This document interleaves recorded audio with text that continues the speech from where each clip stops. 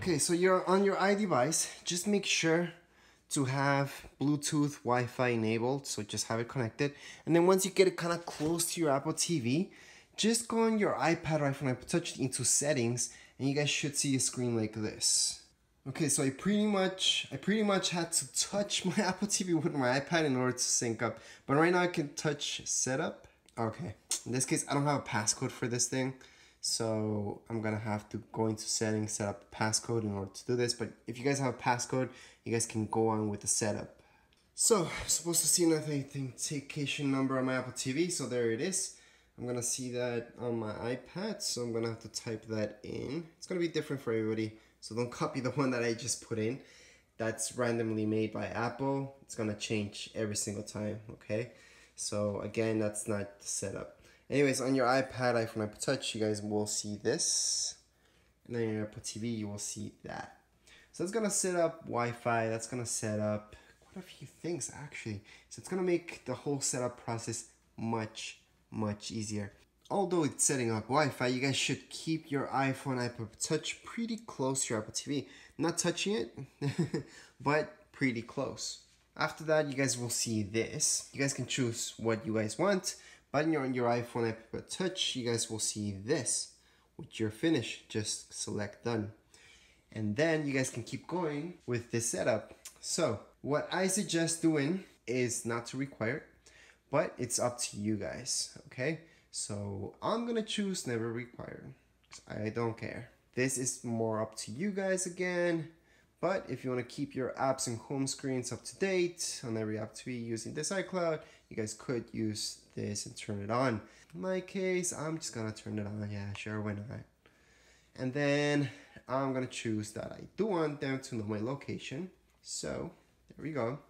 And this stuff will take a couple gigs. So I wouldn't. I'm gonna say not now because it does take up almost one gig. It's a lot, 800 megabytes. It's almost a gig. So I would not do it. I don't recommend doing that. Okay? Analytics, I would always send. They're just making products faster. So I don't mind. Yes, they're taking your privacy away and so on, but trust me, they're doing it anyways. Analytics, share with developers, I do.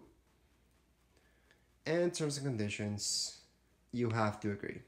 So the other ones, you guys could have said no, but terms and conditions, you guys have to. So the first thing you guys should do with your Apple TV is actually go down into settings.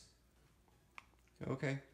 From settings, what you guys should do is just update your system just in case. So go right down into system. So you guys can scroll down just by going down your remote, select software updates.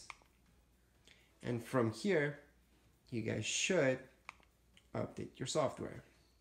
That's the very first thing you guys should do. I'm not gonna do it right now because it takes forever and I wanna show you a couple things before I let you go. So that's where you guys do the updates. If something goes wrong with your Apple TV, maybe Netflix, it's glitchy, it's not letting you log in, or uh, it's just glitchy, it's not playing, or whatever. For whatever reason, you guys should always check your updates. Most likely, it's an update that you guys need to do, and that's why it's acting up. Something else you guys should do is reset your Apple TV.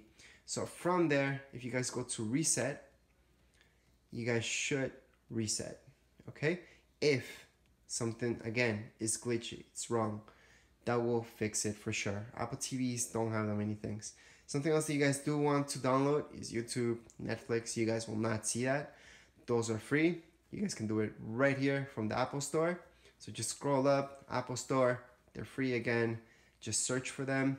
You can, can even press Siri on your remote control. So right now my remote control, let me just try to focus in so you guys can see it. You guys will see Siri up here. If you guys hold it, so again, you guys to hold it, say what you want, and then it's gonna understand you, okay? So you guys could tell Siri to look for YouTube for you, so you guys can download the app. I use Siri quite a bit, so for most of you, YouTube's the biggest thing. Highly recommend it. Netflix, obviously, and then you guys have other ones. And there's actually a few things, a few apps that let you watch live TV. And uh, I have a few games already set up here. And that's because on my account with my other Apple TV, I already have these apps. So automatically they download onto this Apple TV. Alright, so if you guys do have other Apple TVs, they can all be synced with the same apps, or you guys can have individual apps on each Apple TV. It's all up to you guys. Anyways, that's it for this video tutorial. If you guys have any questions, comments, you can write them down here within the comments area. And don't forget to subscribe and rate. Thank you.